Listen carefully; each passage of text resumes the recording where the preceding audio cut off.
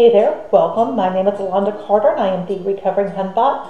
I create anti-MLM videos as anti-multi-level marketing and I also examine white-collar crime and some true crime. Basically, I like to tell the stories related to scammy things and the people involved. I apologize in advance that the audio is not stellar. We just moved and I haven't been able to fully set up my home office so there's no sound canceling foam on the walls and it's kind of empty in here. So again, I'm really sorry. I'm doing the best I can with what I have for now.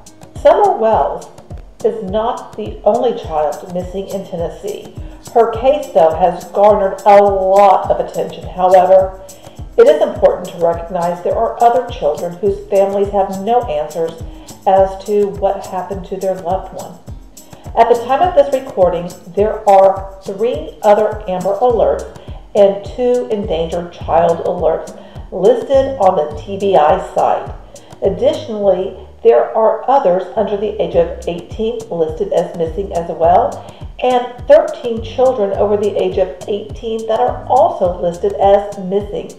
I want to bring some attention to these other cases. If you have any information about anyone missing in Tennessee, please call 1 800 TBI Carter Mitchell Neal went missing June 4th of 2021. He is 13 years old and from Tipton County, which is located next to Arkansas. His sister Lainey, who is 16, also went missing, but she was located the following day on June 5th.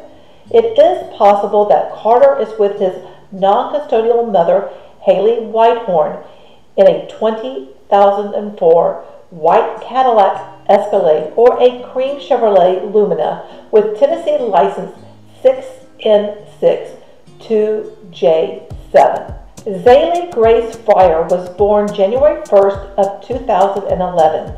She is missing from Millersville, Tennessee. Zaylee was last seen with her mother, Shauna Marie Fryar.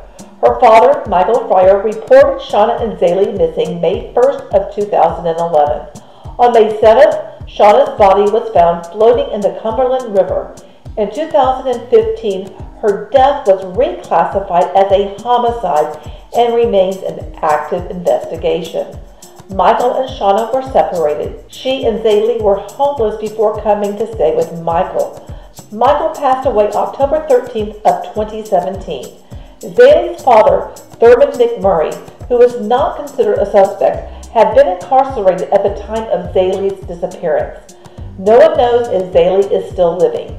If you have information about either Zaylee or Shauna, contact the Millersville Police Department at 615-859-2758.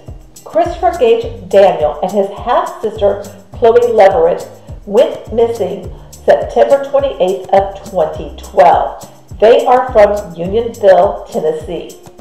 The children lived with their grandparents in a home that burned to the ground. On September 23rd of 2012, fire ravaged the home of Leon Bubba McLaren and his wife Molly McLaren. The 72-year-old couple died in the blaze along with a bird and dog, but there was no trace of their grandchildren. At the time of their disappearance, Chloie was nine and Gage seven. The National Center of Missing and Exploited Children created an age-enhanced photo of what the children would look like today. According to the TBI, 15-year-old Eva Alejandra Lopez went missing September 22nd of 2015. She was last seen at her home. An endangered child alert was issued for her. She is from Winchester, Tennessee. Eva may have traveled to Mexico. She may be in the company of Alvaro Gomez Martinez, who was 25 years old in 2015. Martinez is wanted for six counts of aggravated statutory rape. Eva's case remains unsolved. Eva Alejandra Lopez is Hispanic. She is 5 feet 4 inches tall, weighing about 150 pounds with brown hair and green eyes. If you can provide any insight to her whereabouts, please contact the Winchester Police at 931 967 2331.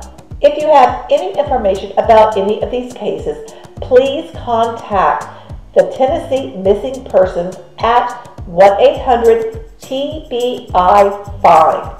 I am sure the friends and families of these missing children would like to have answers and closure.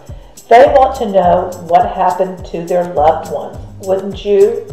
If you have any information, please reach out to TBI. I know the case of Summer Wells is on everyone's mind because of the amount of attention this case is getting. For me, the case absolutely haunts me. So much of what we know or have been told just doesn't make sense.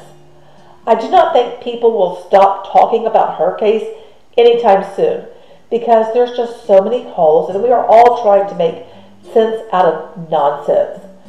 But I don't want us to forget there are other missing people, other missing children and adults from Tennessee.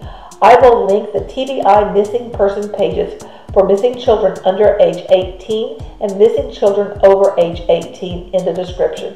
Thanks so much for watching. Take care and remember you're beautiful and I love you.